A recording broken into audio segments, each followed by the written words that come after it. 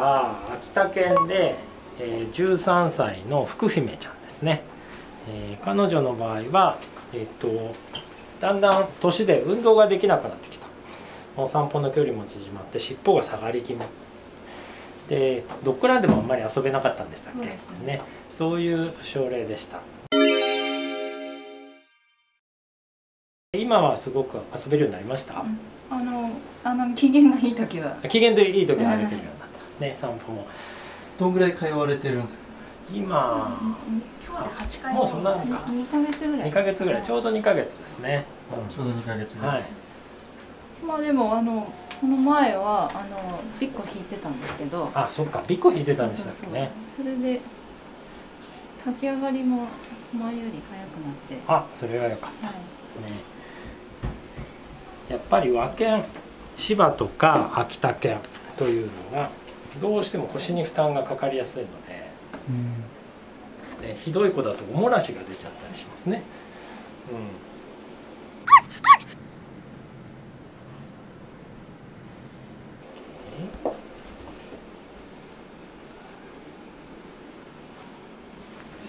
うん。よいしょ、くんちゃんいいかな？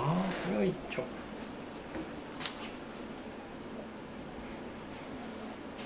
力の入れ方とか違うんですかね？大きさがやっぱり大きくなるとちょっと力が必要ですよね。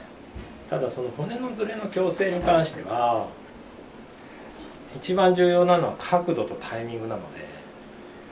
タイミング？タイミンタイミングなんかあるんですか？グありますね。呼吸に合わせてとか。YouTube で撮影しながら僕も勉強になります。ね あとは犬がリラックスした瞬間に入れるとかね。やっぱり、わかるんですか？わかりますね。僕結構これずっと見てるんですけどずっと同じ表情だと思ういやいやいやや全然ずーっと違うことやってる。ええ 本当ですか？本当です。え飼い主さんわかります？飼い主さんもわかりますよね。いやでもそのタイミングっていうのはあると思う。ありますよね。へえそうなんですね。でもすっごいリラックスしてますね。うん。もうやっぱり何回か来てくださるとね。もうままたかっていう感じ でも前ほどヒヒヒヒ言わうん、なかったもう全く初めねずいぶんヒーヒー言ってましたよね、痛いから。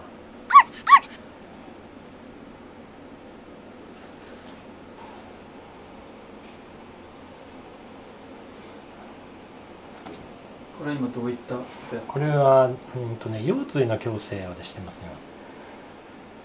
今こう触ってここのズレが取れないんですね。でそれを矯正してるとこですねでこれは力ずくで入れていい話じゃないので。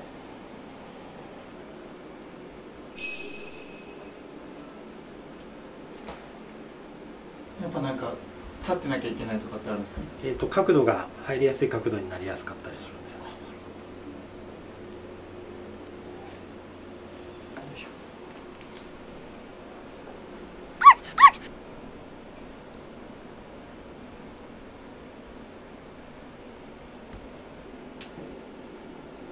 よし OK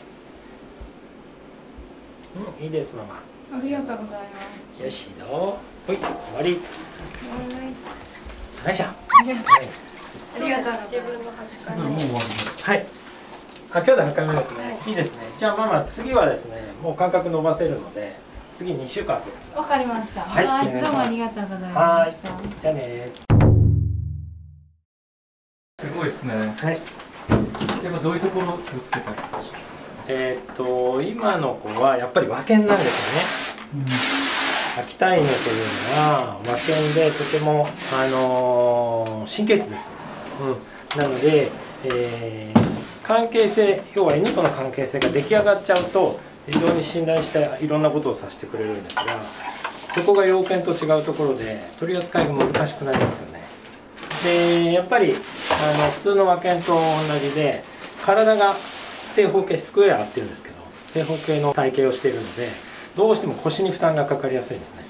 で腰の骨が圧倒的にずれていて、えー尻尾がもう上がらなくてで歩けない状態だったので、えーそれを今度は矯正して、えー普通の状態に後ろ足が使える状態に今なりつつあるところです。さすがゴッドファンはい。ありがとうございましありがとうございます